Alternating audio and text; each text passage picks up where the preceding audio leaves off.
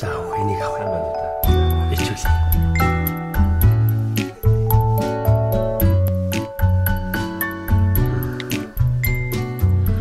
Хүн бүхэнд ноцхан хүсэл гэж би тийм үү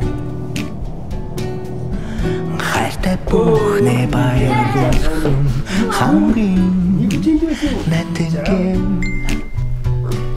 Гэр гэр гэр бүлийн одоо хинтийг ингэж чаддаг. Аав нь өчигдөр ухаан багтараас зээлэр авсан юм аа. Ээж чинь ч бас авсан. Тэгээд мөн хүсэн төгөө мессенжерд ч байгаа нэг шүү дээ. Гү таасан тэгээд дараа төлбөрт болчихсон юм уу? Үгүй. Урдсан төлбөртэй хүмүүс ч гэсэн гар утас зээлэр өгдөг болсон шүү дээ. Гэр бүлийн гишүүн бүрт Mobicom